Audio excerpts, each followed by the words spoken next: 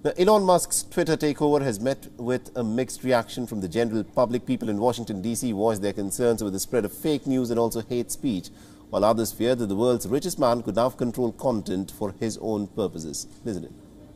There's not several owners anymore, so that kind of gives him all the power over it.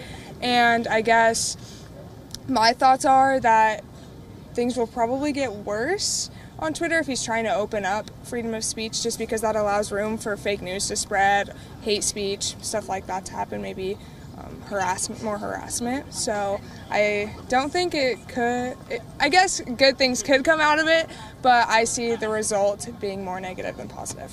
The, the incidents uh, with uh, President Trump, I think, showed that um, these platforms have much, much influence on our public debate. So I think it's um, not so good if this is in hand of one um, human being. And I think Mr. Um, Musk is also um, one uh, human being who is um, driven by, of course, his financial interests and not driven by the public interest. So I think it's good that we have such platforms um, in which you can speak freely, but in democratic societies, freedom has bounds, has boundaries, and um, I'm not sure if Elon Musk is the one who should the one who should define these boundaries for such a huge platform like Twitter.